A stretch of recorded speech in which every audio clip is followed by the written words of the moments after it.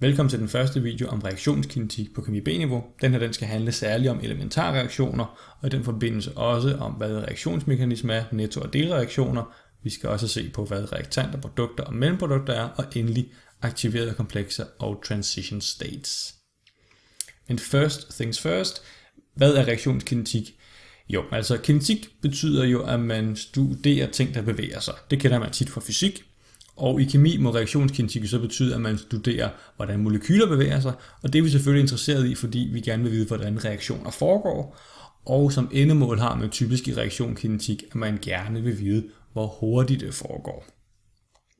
Så det betyder jo dybest set, at vi kunne tage en reaktion som den her og bruge som eksempel, og så vil vi dybest set gerne studere, jamen, hvordan kan det vi have, at øh, to sådan carbonmonoxid og dioxygen her ligesom dumper ind i hinanden og støder sammen, og på den måde på en eller anden måde får dannet sådan to carbondioxidmolekyler. Og det kan virke rimelig simpelt. Man kunne sagtens have taget noget, der var noget mere kompliceret og indeholdte mange flere forbindelser, men lad os nu starte med noget, der er simpelt, så kan man altid begynde at kigge på noget, der har øh, mange flere komponenter i sig. Og den her reaktion, som vi har her, den er jo skrevet op på en helt normal måde. Der er en reaktionspil, det er et reaktionsskema, som vi kender det, og øh, det der er med reaktionsskema her, det er jo, hvis man ikke vidste bedre, så kunne det jo godt antyde, at det her foregår på den måde, at de to karbonmonoxider bare støder ind i dioxygen, og så får man bups dannet to carbondioxider. Det er ikke sådan, det foregår.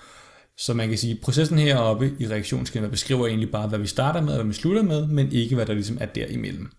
Og til at vise det, der plejer man at opskrive sådan nogle mindre reaktioner her. Så de reaktioner her, som man kalder elementarreaktionerne, de viser sådan set, hvad for nogle sammenstød er det, der foregår. Og det første sammenstød, der foregår, det er, at et karbonmonoxid støder sammen med dioxygen, så laver det et CO2-molekyle og et oxygenradikal. Så sker der et nyt sammenstød mellem endnu et karbonmonoxid molekyle og vores oxygenradikal, og så får man lavet endnu et CO2-molekyle. Og når det er sket, så har man ligesom lavet hele den her reaktion. At opskrive det på den her måde, øh, ved alle de små trin i elementarreaktioner som det her, det kalder man også at opskrive hele reaktionens reaktionsmekanisme. Og man skal lige være opmærksom på, at når man snakker reaktionsmekanisme, så er det øh, typisk det her, man tænker på, men lige i organisk kemi, der vil man typisk også være særlig interesseret i at indikere, hvilke bindinger, der bliver brudt og dannet, og hvordan elektronerne bevæger sig rundt. Så der er tit lidt ekstra på det, hvis man gerne vil gøre det der. De her elementare reaktioner, som øh, beskriver stammenstødene, de kan dybest set deles op i nogle forskellige typer, alt efter hvor mange forbindelser vi har med at gøre. Så det mest simple, vi kan forestille os, det er, at vi har en forbindelse, som på en eller anden måde laver en reaktion, hvor den splitter sig op til noget. Det kunne være, at 1 blev til 2. At have det, det kalder man for en unimolekylær reaktion. Uni, fordi der er en. Det næste, man kunne forestille sig, var, at vi kunne lave en bimolekylær reaktion, altså vi har to ting, der støder sammen, således her, og så laver et eller andet. Man kunne også forestille sig en trimolekylær reaktion, hvor tre ting støder sammen og laver noget nyt, osv. osv. osv.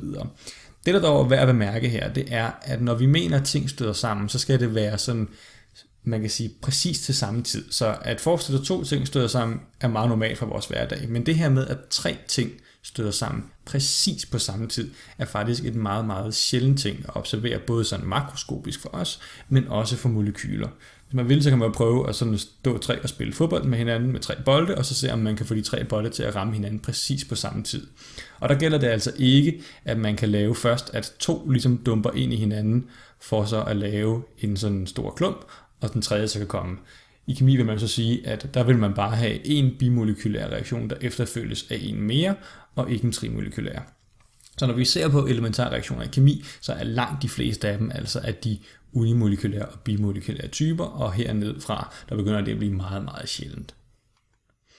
Så hvis vi kigger på reaktionen, vi lige øh, kiggede på før, så kan vi jo se, at det er de to reaktioner her, de er begge to bimolekylære, fordi i begge de to, der er der jo to molekyler, der støder ind i hinanden. Så i den første her, carbonmonoxid og dioxygen, og i den næste, carbonmonoxid og oxygenradikalet. Og det er sådan set lige meget, hvor mange forskellige forbindelser, der dannes efterfølgende af det her. Det eneste, vi er interesseret i, det er ligesom, hvad skal støde sammen? Hvor mange forbindelser støder ind i hinanden? Og når vi så har styr på det, så vil vi gerne kalde alle de her små reaktioner nogle ting, så det er lidt nemmere at skille dem fra hinanden. Så hver af de her, man kan sige, trinreaktioner, vil vi gerne kalde for delreaktioner, og den reaktion, vi normalt bare omtaler som reaktionen, vil vi i reaktionskinetik gerne kalde nettoreaktionen. Og det lidt nite ved det, det er, at hvis man tager de her delreaktioner og lægger sammen, så skulle det meget gerne give nettoreaktionen.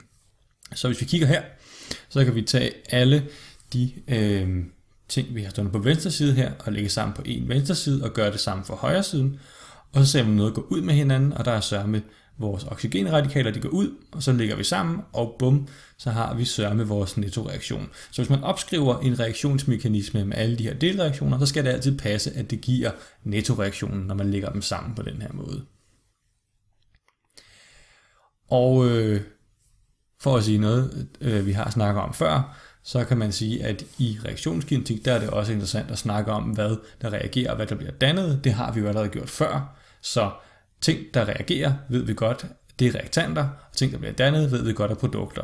Men som vi kunne se før, i vores delreaktioner, så havde vi jo faktisk det her oxygenradikale, som man kan sige både bliver dannet og brugt, og i et sådan omfang, at det faktisk ikke indgår i nettoreaktionen. Og hvis man har sådan en forbindelse, som ligesom er en del af ens reaktionsmekanisme, men ikke er en del af ens nettoreaktion, så kalder man det for et mellemprodukt. Så oxygenradikalet her er altså et mellemprodukt. Og hvis man nu på en eller anden måde kunne måle mellemproduktet, mens den her reaktion sker, så kunne det jo godt være, at når man starter, så er der selvfølgelig ingenting, men som reaktionen forløber, der kan man måske måle en lille smule af det, og så når reaktionen er færdig, skulle der gerne være 0 igen. Sådan så at der ligesom måske er en lille, øh, en lille mængde af det, mens reaktionen den sker. Og den sidste ting, som vi skal snakke om, er de her aktiverede komplekser. Og dybest set handler det om at prøve at forstå, når vi nu skal lave de her elementarreaktioner i delreaktionerne, altså at smadre vores carbonmonoxid og dioxygen sammen i den første reaktion, hvordan får vi så gjort det til at få lavet vores produkter på den anden side? Og dybest set kan man jo godt se, at ud fra den tegning, jeg har lavet, passer det meget godt med, hvis man ligesom skubber dioxygen lidt tættere på carbonmonoxid, så kan man måske på et eller andet tidspunkt begynde at bryde nogle af de bindinger, vi har her, og begynde at danne nogle af dem, vi gerne vil have. Og det er dybest set også det, der sker. Så det kan man illustrere på en sådan måde, at hvis vi rykker dem her sådan tæt nok sammen, så kan nogle af elektronerne begynde at danne lige så stille nogle nye bindinger og bryde de gamle, som de havde, og så kan man ende ud med vores produkter på den anden side. Det modsatte vil selvfølgelig også være så gældende, hvis man ligesom ville tegne reaktionen den anden vej, så var der også den samme sådan vej, man skulle igennem. Vi kan gøre det samme for delreaktion 2. Øh, det er nogenlunde lige til. Vi skubber vores oxygenradikale lidt tættere på vores karbonmonoxid, og så igen kan vi begynde at få dannet nogle bindinger, vi gerne vil have, og bryde nogle, vi ikke vil have, for at få dannet vores produkt. Og de her mellemvarer, øh, kan det være meget sådan åbenlyst at se, at de må være helt vildt ustabile, fordi der er på ingen måde, hvor at hverken øh, den ene eller den anden de her forbindelser, de ligesom opfylder edelgasreglen. Der er, man kan sige, elektroner, der sådan bliver øh, delvis ligger i en binding, og delvis ligger i en anden binding. Øh, så det er ikke særlig sådan tilpas. Så øh, derfor kalder man også de her sådan mellemvarer, eller hele den, man kan sige, omdannelse, hvor vi ligesom øh, danner og bryder bindinger for aktiverede komplekser som altså er meget ustabile.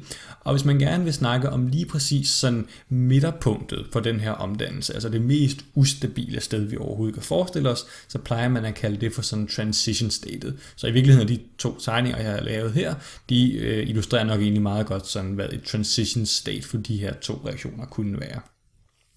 Fordi vi gerne vil vise, at de her aktiverede komplekser og transition statet er noget, som er meget ustabilt, så holder det ikke helt bare at tegne dem som her, eller at skrive for eksempel hernede CO2, så kunne man jo tro, at det var det rigtige molekyl, vi havde herude. Så det man tit gør, det er, at man enten kan sætte sådan nogle firkantede parenteser, man kan også give dem sådan nogle opløftede øh, øh, dobbeltkors her.